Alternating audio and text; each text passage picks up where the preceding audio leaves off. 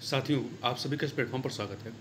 इस वीडियो में हम लोग जो है, आगामी यूपी पी एस तथा R O A R O दो हज़ार तेईस की प्रारंभिक परीक्षा को ध्यान में रखते हुए तथा बीपीएससी की जो प्रारंभिक परीक्षा होनी है, उसको ध्यान में रखते हुए हम लोग आर्थिकी से संबंधित कुछ महत्वपूर्ण टॉपिक को एक एक करके कवर कर रहे हैं। इसी के तहत हम लोग आज के वीडियो में सेरीकल्चर मतलब रेशम उत्पादन, रेशम कीट पालन इत्यादि से संबंधित जो महत्वपूर्ण आंकड़े हैं, जिनसे आपके प्रश्न बनते हैं, उन आंकड़ों को हम लोग जो है इस वीडियो में कवर करेंगे। जैसे कि सहतूत उत्पादन में कौन सा राज्य नंबर एक पर है, या टॉप के थ्री राज्य कौन से हैं, या आपके टसर रेशम उत्पादक कौन से राज्य हैं प्रमुख। तो इस तरह के जो प्रश्न पूछे जाते हैं, उन प्रश्नों के लिए ये वीडियो आपके लिए काफ़ी महत्वपूर्ण साबित होगा। और इस तरह के प्रश्न आप देखेंगे, लगातार परीक्षाओं में पूछे जाते हैं। तो इसके लिए हम लोग जो है घटना चक्र के आर्थिकी, भारत एवं विश्व 2024 इसकी मदद ले रहे हैं। इसमें जो आंकड़े दिए गए हैं, उसी को यहाँ पर हम लोग देखेंगे। तो चलिए प्रारंभ करते हैं। सबसे पहले हम लोग थोड़ा सा बैकग्राउंड की बात कर लेते हैं। केंद्रीय रेशम बोर्ड संसद के एक अधिनियम द्वारा 1948 में स्थापित एक सांविधिक स्टेचुरी बॉडी है या निकाय है। तो ध्यान रखिएगा पहली चीज़ कि जो केंद्रीय रेशम बोर्ड है, ये क्या है? एक सांविधिक निकाय है, ना कि संवैधानिक निकाय है। ठीक है? संवैधानिक और सांविधिक दोनों बहुत फ़र्क होता है। संवैधानिक वो जिसका वर्णन संविधान में किया गया है और सांविधिक तब होता है जब किसी अधिनियम के माध्यम से किसी का गठन किया जाता है। तो ये आपका सांविधिक निकाय है और इसकी स्थापना कब हुई थी? इसको भी याद रखिएगा 1948 में। इसकी स्थापना देश में सेरीकल्चर अर्थात रेशम उत्पादन, रेशम कीट पालन और रेशम उद्योग से के विकास हेतु की गई है। यह वस्त्र मंत्रालय भारत सरकार के प्रशासनिक नियंत्रण में कार्य करता है। भारत जो है वो चीन के बाद विश्व में कच्चा रेशम का दूसरा सबसे बड़ा उत्पादक है। नंबर एक पर, चाइना है, दूसरे पे भारत है। भारत में उत्पादित लगभग सत्तर प्रतिशत जो वाणिज्यिक रेशम है, वो सहतूत अर्थात मलबरी से आता है। ठीक है? रेशम के कई प्रकार होते हैं, जैसे भारत में चार प्रकार के रेशम मिलते हैं। आपके सहतूत रेशम है, तसर है, इरी है और मूगा। ठीक है? भारत ही ऐसा देश है जहाँ पे सभी प्रकार के रेशम का उत्पादन किया जाता है। तो 70 प्रतिशत वाणिज्यिक रेशम जो है वो सहतूत या मलबरी से आता है और आमतौर पर रेशम या जो कच्चा रेशम कहते हैं वो सहतूत रेशम को ही संदर्भित करता है। गैर सहतूत रेशम में आपके टसर है, तसर है, इरी है और मुगा आते हैं। अब इनके संबंध में जो आंकड़े हैं महत्वपूर्ण, उनको देख लेते हैं। सबसे पहले हम लोग सहतूत के बारे में बात करते हैं। तो शीर्ष सहतूत रेशम उत्पादक जो राज्य हैं, उन राज्यों की बात करें। तो जो टॉप के राज्य हैं, यहाँ पे पाँच राज्यों की बात की गई है। तो इसमें कर्नाटक नंबर एक पर है आंध्र प्रदेश दूसरे पे है, तमिलनाडु तीसरे पे है। मतलब टॉप के जो तीन राज्य हैं, वो आपके दक्षिण दक्षिण भारत के हैं या दक्षिणी भारत के हैं। ठीक है? चौथे पे आपका पश्चिम बंगाल है और पाँचवें पे महाराष्ट्र है। कर्नाटक में कुल ग्यारह हज़ार दो सौ इक्यानवे मीट्रिक टन सहतूत रेशम का उत्पादन होता है। और वहीं दूसरे नंबर पे आंध्र प्रदेश से आठ हज़ार आठ सौ बत्तीस मीट्रिक टन का। इसके बाद का आप देखिए तो पहले दूसरे से काफ़ी ज़्यादा डिफरेंस है तीसरे वाले में। अब कुल सहतूत रेशम उत्पादन में विभिन्न राज्यों की हिस्सेदारी परसेंट वाइज देखें। परसेंटेज में देखें या प्रतिशत में देखें तो कर्नाटक की सबसे अधिक हिस्सेदारी है। तो कर्नाटक जो है, जो टोटल शहतूत रेशम का उत्पादन होता है, उसका अकेले 43.7 परसेंट शहतूत रेशम का उत्पादन करता है कर्नाटक। दूसरे नंबर पे आंध्र प्रदेश 34.2 परसेंट तीसरे नंबर पे आपका तमिलनाडु है 9.2 परसेंट चौथे पे आपका पश्चिम बंगाल है 6.3 और पाँचवें पे है आपका महाराष्ट्र 2 परसेंट और अन्य राज्य मिलकर के 4.6 परसेंट का उत्पादन करते हैं। अब बात कर लेते हैं तसर रेशम उत्पादक राज्य के बारे में। तो जो शीर्ष पाँच तसर रेशम उत्पादक राज्य हैं, उनके बारे में बात करें तो झारखंड जो है इसमें आपका नंबर एक पे है। तो ध्यान रखिएगा, तसर रेशम के उत्पादक में नंबर एक पर कौन है? झारखंड है। दूसरे पे छत्तीसगढ़ है, तीसरे पे उड़ीसा है और चौथे पे बिहार और पाँचवें पे उत्तर प्रदेश है। ठीक है?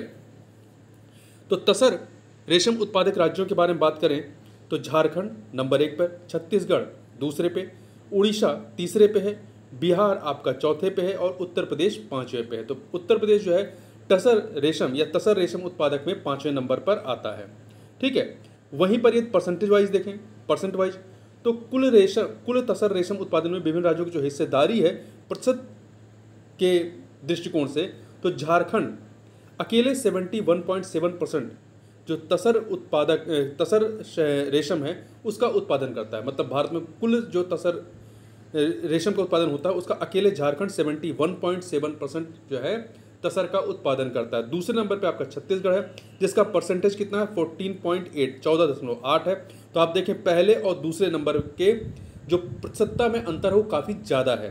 तो अकेले झारखंड जो है, आधे से अधिक तसर रेशम का उत्पादन करता है। तीसरे नंबर पे है उड़ीसा, सात परसेंट चौथे पे है Bihar two point eight percent ठीक है? वहीं अब तसर रेशम उत्पादन तसर रेशम के बाद हम लोग इरी रेशम उत्पादक राज्यों की बात कर लें तो जो टॉप के फाइव राज्य हैं तो इसमें देखिए नंबर एक पर आपका इरी रेशम उत्पादक में असम, एवं बोडालैंड है। दूसरे पे मेघालय है, तीसरे पे मणिपुर है, चौथे पे नागालैंड है, और पाँचवें पे अरुणाचल प्रदेश और उत्तर प्रदेश है।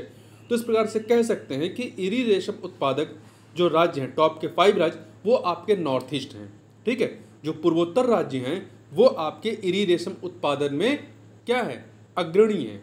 और ध्यान रखिएगा कि इरी रेशम उत्पादक में उत्तर प्रदेश पाँचवें पे है। तो यहाँ पर हमने पहले ही बात की, तसर उत्पादक में भी उत्तर प्रदेश पाँचवें पे है। तो आप याद रखिएगा कि जो उत्तर प्रदेश है, वो तसर रेशम उत्पादन और इरी रेशम उत्पादन दोनों पे ही, दोनों में ही जो है आपका पाँचवें नंबर पर है, ठीक? अब कुल इरी रेशम उत्पादन में विभिन्न राज्यों की जो हिस्सेदारी है प्रतिशत, प्रतिशतवार, उसको देख लेते हैं तो असम एवं बोडालैंड, ये अकेले जो है 74.2 प्रतिशत इरी रेशम का उत्पादन करता है। दूसरे नंबर पर मेघालय है, पंद्रह दशमलव पाँच परसेंट, दोनों में काफ़ी डिफरेंस है, असम एवं बोडालैंड और मेघालय में। तीसरे पे आपका मणिपुर आता है 4.4 परसेंट, चौथे पे नागालैंड आता है 4.2 परसेंट और पाँचवें पे अरुणाचल प्रदेश और उत्तर प्रदेश है।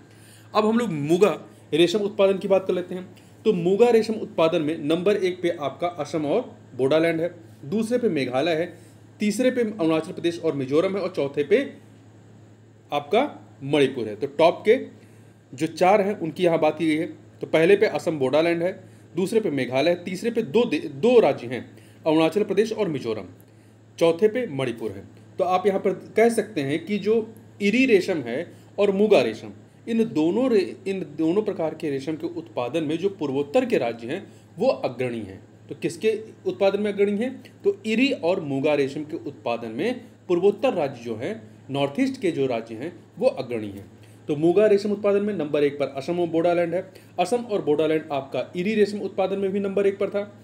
दूसरे पे मेघालय है। मेघालय भी जो है, इरी रेशम उत्पादन में नंबर दूसरे पे था।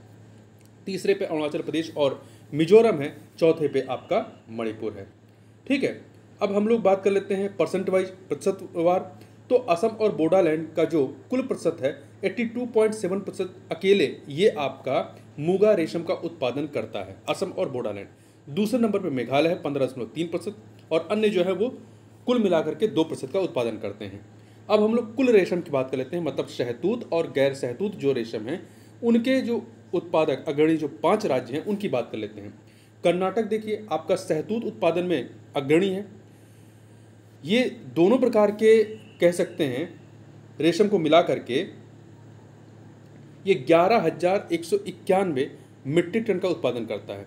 आंध्र प्रदेश आठ हज़ार आठ सौ चौंतीस मीट्रिक टन का, असम एवं बोडालैंड पाँच हज़ार सात सौ मीट्रिक टन का, तमिलनाडु दो हज़ार दो दो हज़ार तीन सौ तिहत्तर मीट्रिक टन का, और पश्चिम बंगाल सोलह सौ बत्तीस मीट्रिक टन का। तो इस प्रकार से कुल रेशम, चाहे वो शह मतलब शहतूत और गैर शहतूत दोनों को मिला करके बात करें तो कर्नाटक नंबर एक पर है, आंध्र प्रदेश दूसरे नंबर पर है, असम और बोडालैंड तीसरे पे है, चौथे पे तमिलनाडु और पांचवे पे पश्चिम बंगाल है। ठीक है? यदि प्रतिशत वाइज देखें, परसेंटेज में यदि आप देखें यहाँ पर तो कर्नाटक कुल रेशम के उत्पादन का अकेले बत्तीस दशमलव एक परसेंट उत्पादित करता है, आंध्र प्रदेश पच्चीस दशमलव तीन परसेंट, असम और बोडालैंड जो है सोलह दशमलव तीन परसेंट। इसके बाद आपका चौथे पे आता है Tamil Nadu six point eight percent और पाँचवें पे आता है आपका Paschim Bangal four point seven और आपका फिर आएगा छठे पे मेघालय थ्री परसेंट और आपका फिर आएगा सातवें पे झारखंड, तीन परसेंट और जो अन्य राज्य हैं मिल करके एट पॉइंट थ्री परसेंट का उत्पादन करते हैं।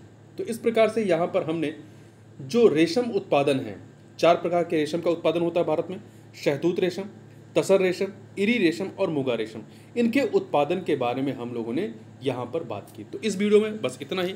मिलते हैं नेक्स्ट वीडियो में। तक के लिए बहुत बहुत धन्यवाद।